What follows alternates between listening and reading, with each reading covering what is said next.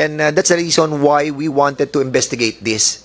Kung merong talagang involvement yung uh, ganong klase ng uh, uh, ng uh, pagbabanta that uh, we heard in the other committee but not in this uh, committee. The first thing is Jade Castro is our member. Uh, he became a member last year. Um, just to give you a brief idea, the Directors Guild uh, is a 30 year old private organization founded in 1994.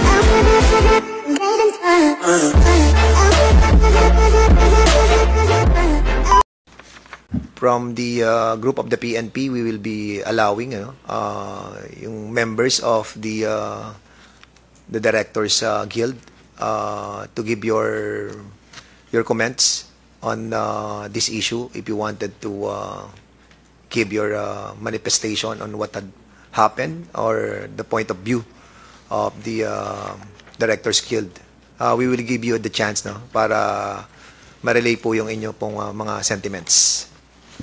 Thank you, Mr. Chair. Um, the I am the vice uh, uh, vice president of the Directors Guild of the Philippines, and with me are, are, are members and former president former president of the DGPI, Paolo Villaluna, um, Peterson Varg, Director Peterson Vargas, and Director Keith Sicat. Um, we in the Directors Guild, we've been following this case. Um, uh, before before this moment, we've been following this case basically through the media reports, and we are uh, very concerned about um, the, the basically our, our interest here is uh, there are two things. We'd like to vet for the character of Jade Castro as a member, and the other thing is we are, are concerned. Uh, since this is a uh, hearing in aid of legislation, we are concerned about um, we, we hope that legislation would ensure that our rights are protected as citizens and uh, as uh, basic, uh, just a common citizen and, and also as directors, we, we, we move around a lot in different provinces, location hunting and all of that kind of thing, preparing for our shoots. We are concerned that, uh, you know, that uh, we are just uh, uh, respect, yeah, are not wrongfully accused. Um, so, the first thing is Jade Castro is our member. Uh, he became a member last year. Um, just to give you a brief idea, the Directors Guild uh, is a 30 year old private organization founded in 1994. And um, it's, it's, a, it's one of the longest serving guilds. Uh, and and um, we've been very active in, in uh, protecting and upholding directors' rights, uh, basically in the film industry, and also we've been vocal on certain issues in the industry as well as the national issues that affect, you know, affect um, our, our, work, particularly freedom of expression, and generally freedoms are, are, are you know, common freedoms. Uh, Jade, uh, to be a member of, of this group, we are about 100 members now, 105 members, and um, to be a member, uh, uh, the member uh, you have to be invited uh, and to be vetted by all nine members of the board of directors. Any single uh, negative vote would would, dis, uh, would would would disqualify the would would basically not allow that the member the the person in consideration uh, will not be admitted as a member. So, uh, in the case of Jade Castro, was one of the members who went through this process, and all nine members of the board uh, last year uh, have vetted for him. Um, I, I, I don't know him as well personally as uh, the three other directors beside me today, and they can talk more, you know, more about his his character. But uh, I can say that you know where we we do respect his work, and and um, and he has directed uh, films like Zombadings and and uh, what's the other one? Uh, Endo, uh, which which have been you know which have been uh, uh, well respected locally and and internationally. Um, so yes, that, that's the first thing. We we vet for his uh, for his work, for his character. Uh, it's very hard to see the director of those films to be an arsonist. Uh, the second thing is our concern. Uh, uh, we've been following the media reports and I don't know, uh, hindi ko naman narinig sa account ngayon about, uh, we just heard about the identification of the, of the, by witnesses, no, of, of uh, Jade Castro as, as one of those um, there. But uh, from what I've been uh, seeing in the media accounts is that the, and I don't know if this is, uh, you know, a correct or, or, or mistaken uh, appreciation of the news, but uh, from what I remember is that the, the, the, the witnesses identified uh, the four arsonists who were under, who were invisible, whose faces were invisible under bonnets. So, uh, whereas uh, yung pag-identify nung dalawang LGU official officials of Mulanay of uh, of Jade Castro and his friends, tho- those L, uh, Mulanay LGU officials identified uh, unbonneted, uh, you know, uh, Jade Castro and his friends who were not under bonnets, and they were in plain sight. They were identified as having been uh, in in Mulanay at the time of of the, the, the incident took place.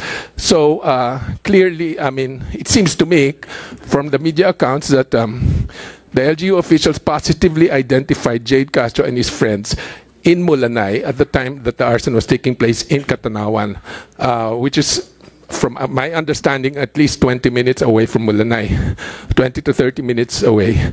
So our concern as uh, the Directors Guild is that since it is in need of legislation, we hope that legislation would be, you know, ang ano lang namin, sana ma- ma- mas ma- in, maybe in law, mas mapahalagahan yung positive identification of, of people who are not cloaked in bonnets, who are, or, or, who are in plain sight, over the identification of people who are, you know, kind of like uh, concealed under other uh, articles of clothing. So, yun ang ano lang namin is how do you, uh, you know, some, since something in legislation could sana protect the rights of, of people, uh, you know, ma- mas mapahal- mapahalagahan naman, mabalanse yung, yung appreciation of the two kinds of evidence, the two kinds of, uh, you know, we're concerned that hindi masyado napahalagahan yung positive identification of LGU, um, of LGU's uh, officials of Mulanay, of Jade being in Mulanay at that time.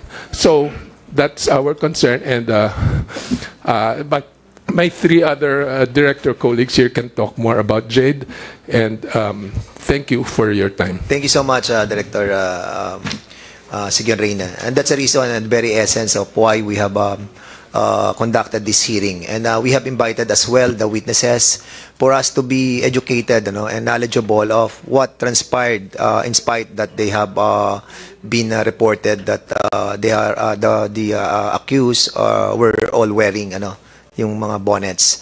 And uh, later on, we will be asking them as well. And uh, with regards naman po doon sa, uh, I think yung ating uh, sinumpang salaysay ng mga witnesses or uh, those people who have been uh, together with um with the group of the accused. Uh, we have been, I think we have invited also those uh, uh, witnesses, sila Angelito Amisola and uh, Jolda Tadeja. Tadeja. Uh, I asked them to be invited. Uh, if not, we will be asking to uh, them to be here as well. And at the same time, um, um,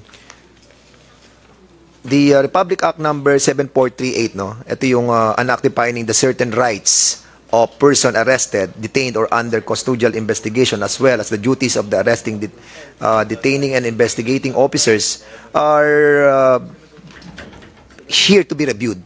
Uh, if there are some violation that was committed uh, under the uh, police procedures, then it is what we wanted to find out in this hearing.